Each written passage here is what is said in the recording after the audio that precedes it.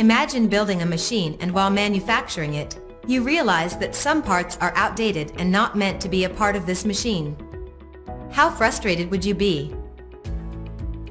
Incomplete or changed design models that are not reflected in the manufacturing line can lead to high rework and engineering change costs, which causes huge disruptions to engineering design and production operations. How would your company solve it? SAP Enterprise Product Development provides product teams all the necessary applications to define, develop, deliver, and manage intelligent and sustainable products.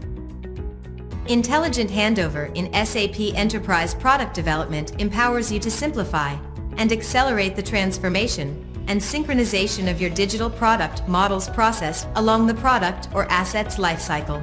Ensure that when new product design changes are available, you can easily understand what the changes are and incorporate any changes that need to be done.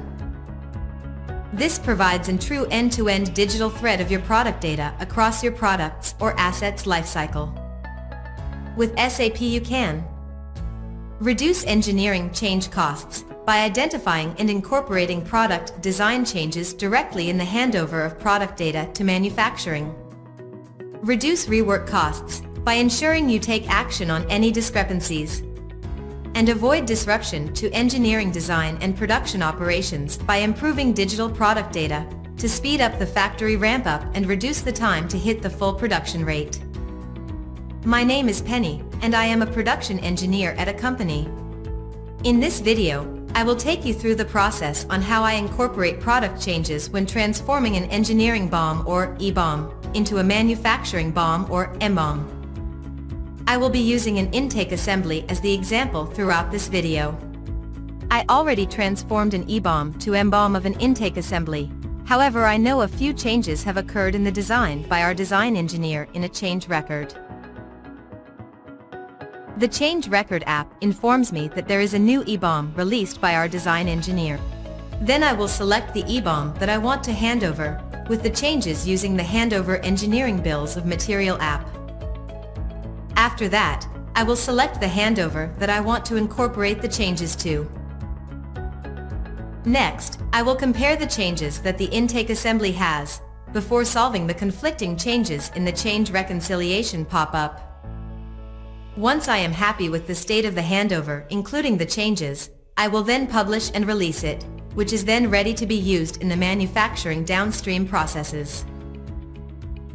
Since I know that there are changes in the EBOM of the intake assembly which has been initiated by our design engineer and it is already released in the SAP S4 HANA system, I can get started on incorporating the changes in the handover process.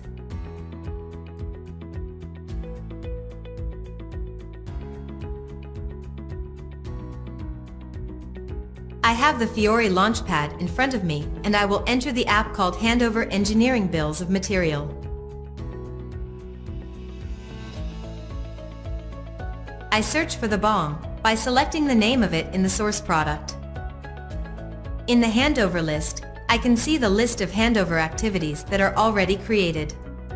I select the EBOM in the list.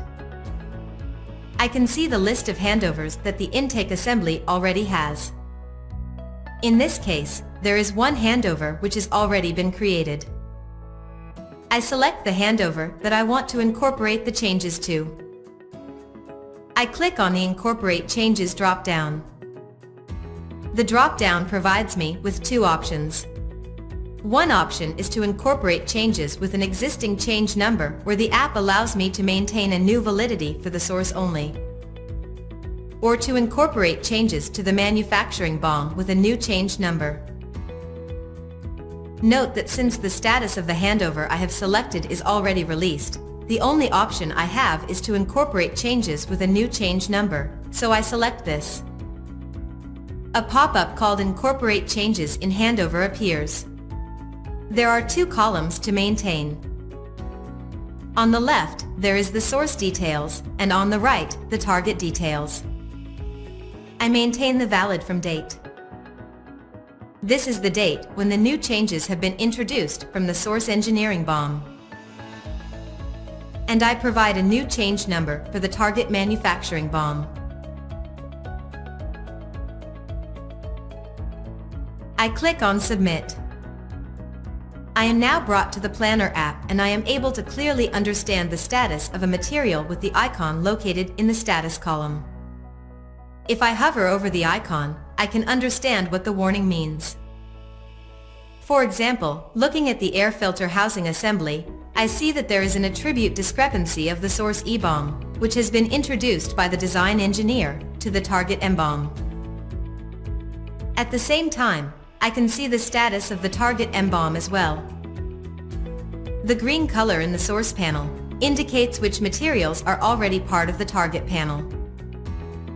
This allows me to easily and quickly identify what may or may not be needed in the target panel.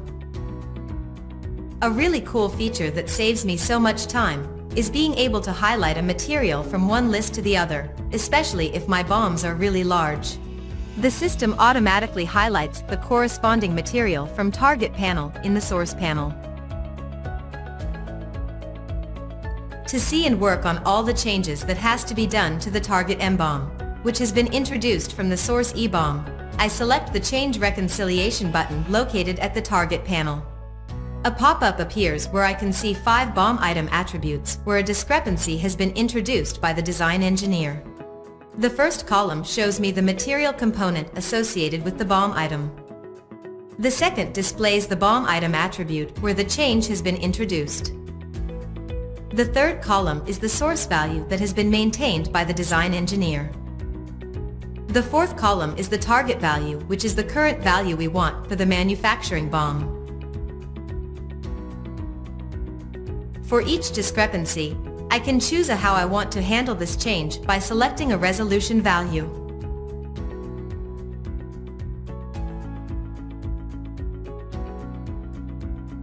I can choose between copy the value from source which copies the value from the source to the target, or I can keep the target value. I choose to copy the value from the source for the first BOM item in the list. I can manually choose a resolution value for each line, or, to save me some time, I can choose a resolution for all the BOM attributes. Click on the New Source drop-down and decide to copy the value from the source. The system automatically applied the resolution value I wanted to all BOM item attributes, saving me a bunch of time not doing manual and repetitive work. Now that it's all maintained, I click on OK. The discrepancies that were shown have now been resolved and updated. I know this as the warning icons are no longer visible in the status column in both the source and the target panel.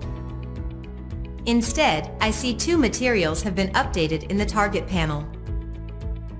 When I hover over the icon, it says that these material item is not yet published to the SAP S4HANA system. Once I am happy with the change incorporation, I publish and release it back to the SAP S4HANA system by clicking on the Publish button. The app confirms that the two items have also been updated and published successfully with a success message.